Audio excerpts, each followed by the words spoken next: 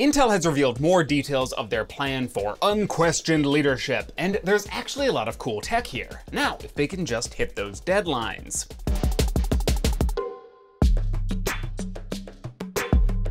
Welcome to Upscaled, our explainer show where we break down the tech that makes your gadgets work. A few months ago, Intel appointed a new CEO and unveiled a new business plan that included building a bunch more chip making fabs, launching a new contract manufacturing business that will make custom chips for other companies, and it laid out a roadmap for a return to unquestioned leadership in the chip making space. Problem is, they didn't really say how that was all supposed to happen, but we finally have a few more details of their plan. We practically built this show on explaining all the ways that Intel has gone off the rails, and for more information on that, check out well, seriously, like pretty much any other episode. But the briefest summary is that after a rocky few years in the early 2000s, Intel rose to become, well, yeah, the unquestioned leader in the chip making space.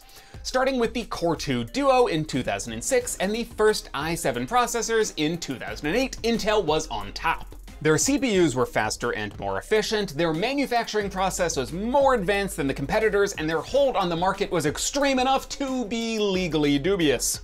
But things started to slip around 2015. Intel started to miss deadlines and targets, and their pace of improvement slowed way down. At the same time, TSMC in Taiwan began to emerge as a cutting-edge chip maker and a major competitor, and AMD with their Zen cores, first released in 2017, eventually reclaimed both the performance and efficiency lead. So what is Intel's plan back to the top? Well, it's a mix of new technologies coupled with an aggressive roadmap that will try to bring chip making back to the breakneck breakneck Moore's Law fueled pace of the 90s. Let's see what's new. First off, Intel is renaming their nodes. These are the set of manufacturing processes that chip makers use, and moving to a new node generally involves building smaller transistors, which can turn on and off faster and use less power. This is one of the main ways that pretty much everything we use in the modern world gets faster and more efficient. Moving to their 10 nanometer node took Intel years longer than they'd originally planned, though it is finally in bulk production. But in the meantime, competitors like like Samsung and TSMC have moved to 7 and even 5 nanometer nodes. But remember, while these numbers used to measure something specific, namely the width of the transistor gate,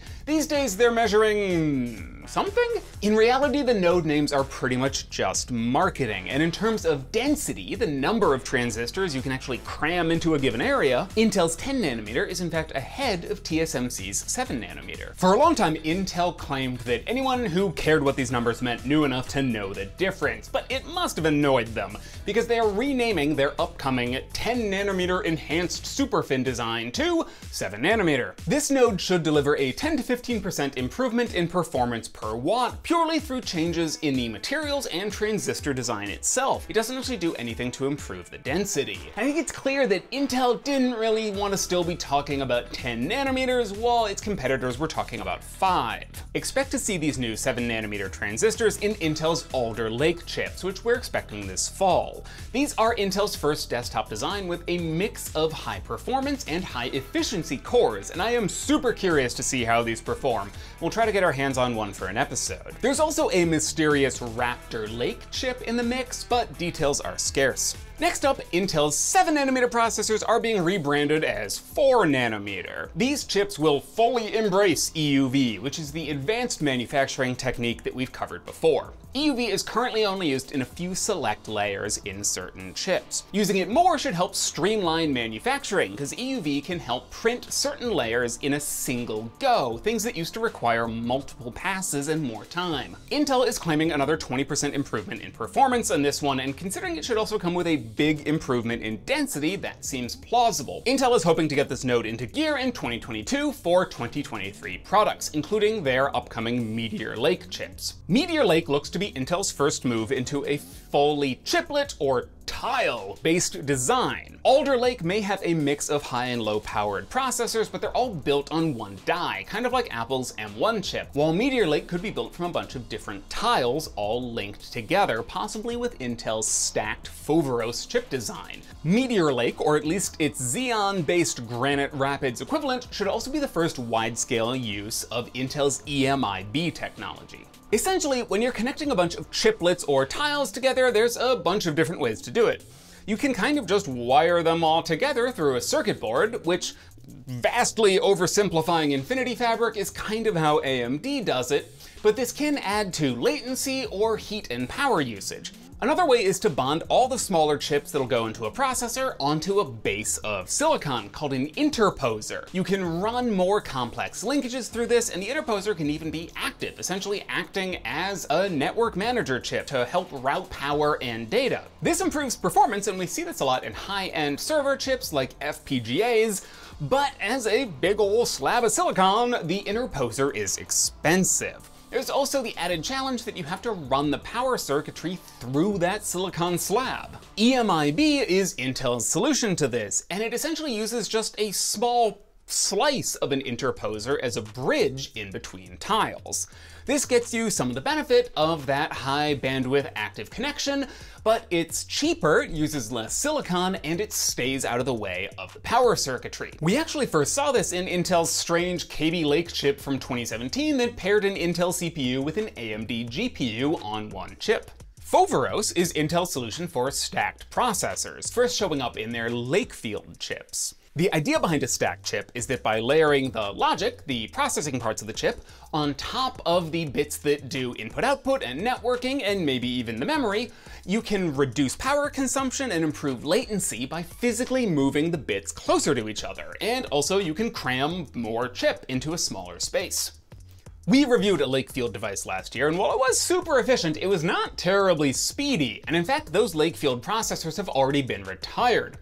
Foveros itself isn't going anywhere though. Intel has already announced two new versions of the design. Foveros Omni allows for stacking chips of various different sizes. This allows for some more flexibility in design and also for so-called cantilevered chips where the top layer is the largest. This enables you to have so-called wiring columns around the edges where power delivery can reach directly to the motherboard below without having to pass through the other layers of the chip. Foveros Direct bonds the copper wiring directly together without the need for solder bumps. This requires some pretty amazing precision and for both halves to be incredibly even and smooth, but should allow for higher efficiency connections and also for more tightly packed contacts. These ideas are all cool, but we haven't really seen a high performance Foveros design yet, so we don't really know what to expect. And at the high end, these stacked chips may run into problems with heat dissipation. Still, you can see a situation where EMIB and Foveros might be used to design sort of a modular high-efficiency CPU paired with a fast GPU and a bunch of high bandwidth memory. Up next, Intel's planned 3nm node, formerly 7 Plus, seems a lot like 4, or maybe a 4 Plus, if you will. It uses EUV on even more layers and adds some improvements in power delivery, with a claimed 18% increase in performance. We don't have a lot of other details here, with production starting in 2023, probably for a 2024 launch. Intel makes it pretty clear through all of this they're targeting performance per watt as their main metric, and this is a super important criteria. Improving performance per watt means the chip can either do more work for the same amount of energy, or can perform the same job using less power. The one caveat here is that Intel's high-end chips currently run pretty darn hot, with some of them drawing over 200 watts of power. Because what I'm trying to say here is that improving performance per watt doesn't necessarily mean you're getting a faster chip. It could just mean a processor that can do the same work as today, but for less energy. Either way, I look at these stats and it does point to big improvements, but with the real focus on performance per watt, I wonder if Intel is a little less confident about reclaiming the absolute performance crown. Moving along, the previous 5nm node is now renamed 20A. A is an angstrom for one ten billionth of a meter, so 2 nanometers. Remember, it's not clear if these names are actually measuring anything, but a silicon atom is about 2 angstroms across, so tiny. This node will bring a transistor redesigned to ribbon FETs. We covered these in our IBM video that you can go check out, but the idea is that at these very tiny sizes, transistors get sort of leaky and hard to control. By wrapping the gate material entirely around a silicon nanowire or ribbon, you can more easily control the flow of power through the transistor. And by varying the width of the ribbons, designers can actually tweak the electrical properties of the transistor for different parts of the chip. These ribbon transistors will be paired with something called power via design. This is Intel's take on something called backside power delivery. See, in a typical chip, the transistor layer is built first, and then the wiring that controls information and power is built in progressively larger layers on top of that until it links into the contacts that connect to the motherboard. The chip is essentially built upside down from how we see it. The problem here is those two sets of wires have to snake around each other and can actually interfere. The same way that high voltage power lines can disrupt cell phone signals, the power connections can actually interfere with the wiring carrying data.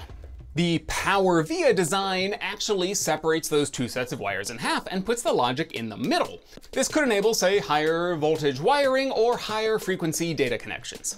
20A is planned to start manufacturing in 2024, with the next gen 18A in 2025, which will use high NA EUV, which is the next iteration of that manufacturing process and essentially uses a more powerful beam of UV light to create the image of the chip. All of this is super cool and does point to CPUs that could get much faster or more efficient. Now for all my doubts. Intel is going to need that improved efficiency because a lot of these designs sound pretty challenging from a thermal perspective. Packing more cores into a smaller space can generate more heat. So can layering the chip components in a stack or burying the transistors in between two layers of connections. Intel's current chips suck down a lot of power and generate a lot of heat, so I want to see how all of this works before I pass judgment. The mixed core design of Alder Lake and the tile-based design of Meteor Lake are also unlike anything we've really seen from Intel up until this point, so it's hard to know what to expect. I also just refuse to believe this timeline.